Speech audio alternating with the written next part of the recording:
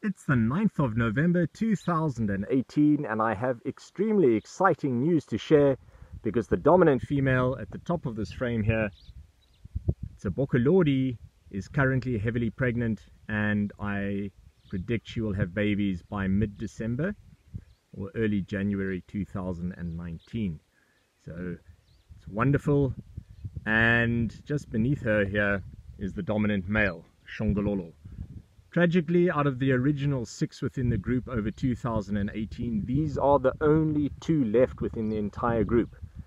Out of the two born in January, December, Tokolosh and Katunguru, both are gone.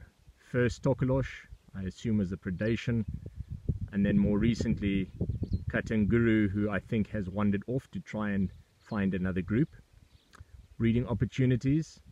Subordinate male and female, Impi and Mzuri left a few months ago. This could be a sign of the greater breeding opportunities available as food becomes more abundant after the drought has broken.